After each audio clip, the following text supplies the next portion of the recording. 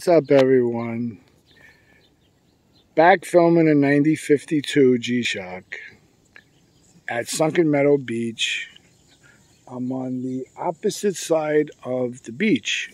There's some kind of river, lake, whatever this is going on here.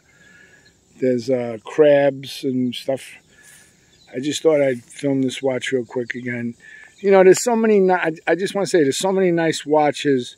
Some people might say, well, just just another G-Shock or just another Casio watch. But yeah, they're kind of, this one's kind of basic.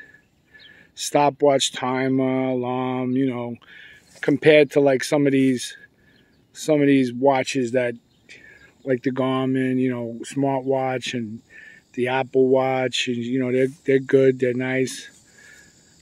I'm actually looking into one of these smartwatches in the future, but there's something very cool and special about a rugged G-Shock.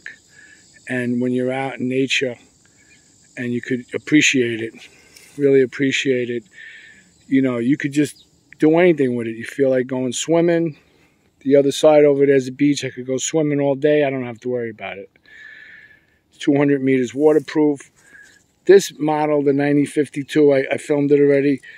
It's not um, overly gigantic. It's a nice size, but it's not like tremendously big G-Shocks. Some of them are really big, but it's very affordable.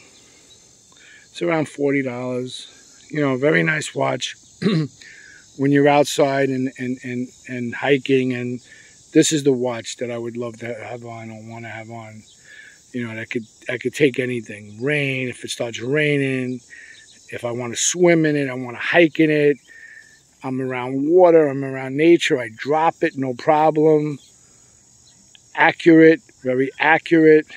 I got the time, I got the day, the week at a glance on my wrist. I got the month, I'm in July 20th. I mean, it's simple, but nice.